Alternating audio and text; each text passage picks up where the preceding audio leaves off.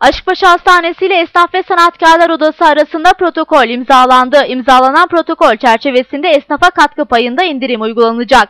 Özel hastanelerde devlet adına 12 lira, hastane çalışanları adına da 13 lira olmak üzere toplamda 25 lira katkı payı alınıyordu. Fakat Esnaf ve Sanatkarlar Odası'nın girişimi sonucunda hastane çalışanları adına alınan 13 lirada indirim yapılacak.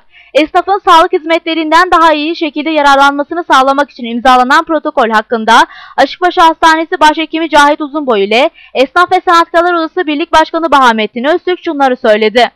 Bugün burada Esnaf Odaları Başkanı'yla e, hastanemiz arasında hastanemizden e, esnaflardan fark alınıp alınmamasına dair bir protokol imzalamak üzere bir araya geldik. Şimdi bildiğiniz gibi hastanemizde hastanede başlayan hastalardan, hastanemizin verdiği hizmetlerden belli bir oranda katkı payı alınmaktaydı. Bu poliklinik ücretlerinde farklı, yatan hastalarda farklı, ameliyat hastalarında farklı idi.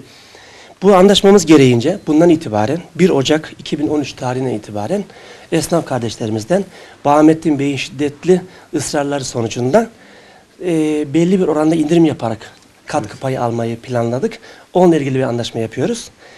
Biraz sonra anlatacağım tabii. Ondan önce anlaşmamızın hem bize, hastanemize hem esnaf kardeşlerimize ve Bahamettin Beylere hayırlı uğurlu olmasını diliyorum. Bu vesileyle de esnaf kardeşlerimize sağlıklı günler diliyorum.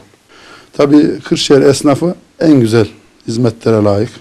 Bunu da biz geldiğimiz günden bu tarafa teşkilat olaraktan, ben değil biz olaraktan bu hizmeti vermek için böyle bir arayış içindeydik ve bir gün e, başhekimimizden bu anlaşmayı yapacağız.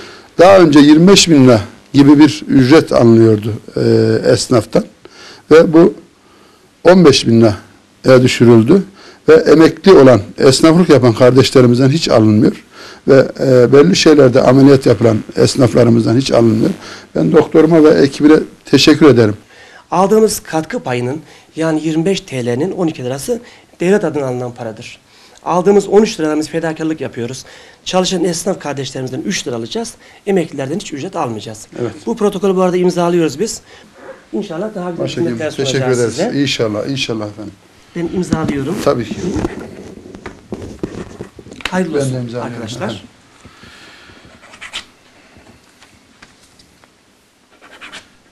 Kırşehir esnafımıza hayırlı uğurlu olsun.